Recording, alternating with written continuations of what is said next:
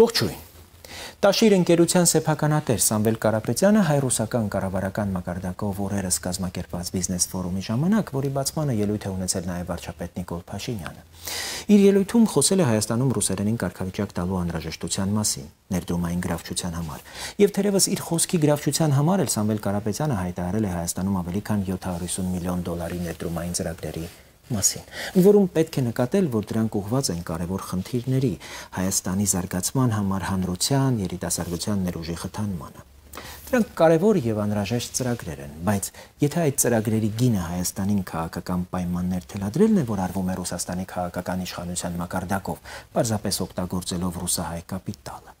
ապա այստեղ կա լրջագույն մտորելու առիթ, եթե չասենք այդպիսի ներդրումներին ընդդիմանալու հիմնավոր պատճառ։ Հետևաբար Սամվել Կարապետյանն իր ներդրումային կարևոր մտադրությունները ներկայացնելով հանրությանը թերևս ազնվորեն պետք է այդ հանրությանն ասի նաև ռուսերենի կարգավիճակ այդ ներդրումների համար պայման է, թե ոչ։ Հայաստանում պետական լեզուն հայերենն է։ Ռուսաստանյան տարբեր խմբեր, ընդհուպ պաշտոնական շրջանակը ներկայացնող դիվանագետներ տարիներ ի վեր խոսել են Հայաստանում ռուսերենի հատուկ կարգավիճակի մասին կար Ռոսատրուդնիստվայի մի ղեկավար Գրիվապուս Կվազգանունով, որն իդեպ 90-ականների սկզբին Արցախում ազնագրային ռեժիմ իրականացնող խորհրդային օմոնի հրամանատարներից էր եւ հայության հալածողներից, որը հայտարարում էր, թե ռուսերենը Հայաստանի անվտանգության լեզուն է։ Իրականում այդ հավակնություններով տարաբնույթ փորձագետներն ու դիվանագետները ոչ թե նպաստեցին հայ-ռուսական հարաբերությանը, այլ Հայաստանի հանրությանը տրամադրեցին դրա դեմ թեև պետք է նկատել, որ այստեղ կարող էր լինել միանգամայն նպատակային միտում։ Պետք էր Հայաստանում որևէ կերպ խթանել հակառուսական դրամատրություն, բայց դա անել այսպես ասած հակառակ ծայրից։ Այսինքն ոչ թե Հայաստանի հանդեպ վառ հետրաբանությամբ, այլ Հայաստանը չափազանց պինդ գրկելու եւ սեղմելու դրամաբանության, այսինքն իբրև թե հայ-ռուսական առավելագույն ինտեգրացիայի մղումով, որպեսի դրա դեմ ներկայացողները գնահատվեին ոչ թե Հայաստանի դեմ Ռուսաստանի քաղաքականության համարժեք գնահատական տվողներ, այլ հենց հակառուսականներ։ Իսկ դա էլ արվում էր այն բանի համար, որ Հայաստանի հակառուսականության վրա մնա Հայաստանի թշնամի Ադրբեջանի ու դրա հովանավոր Թուրքիայի հետ պայմանավորվածությունների ռուսական քաղաքականության պատասխանատվությունը։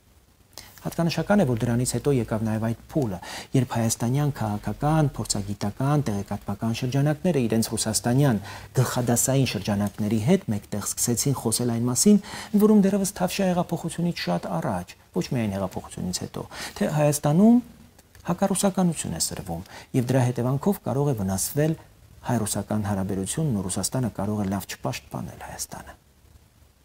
Իրականում հենց Ռուսաստանից էլ խթանվում էր այդ հակառուսականությունը վերը նկարագրված խնդիրները լուծելու համար։ Հիմա Սամվել Կարապետյանը վերստին բերում է մի օրակարգ, որը Հայաստանում առաջացնում է հանրային շատ օբյեկտիվ ընդվզում։ Հետևաբար հարց է առաջանում. Կարապետյանը դա անում է լավագույն մղումներով, սակայն չպատկերացնելով ու չգիտակցելով դրա վտանգավոր բացարձակ անօգտակար, համենայն դեպս Հայաստանի համար անօգտակար շրջանառումը, թե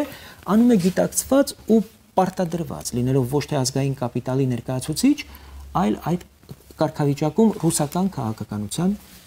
գործակալ։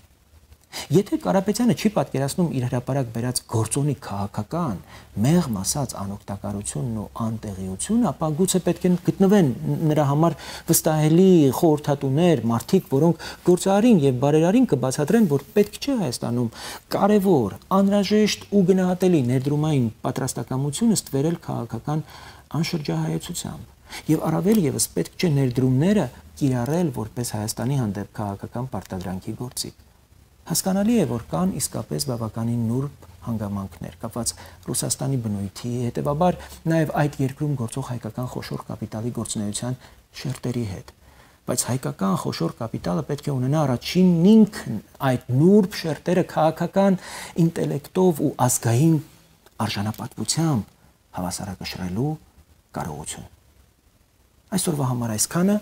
մնացեք բարով կհանդիպենք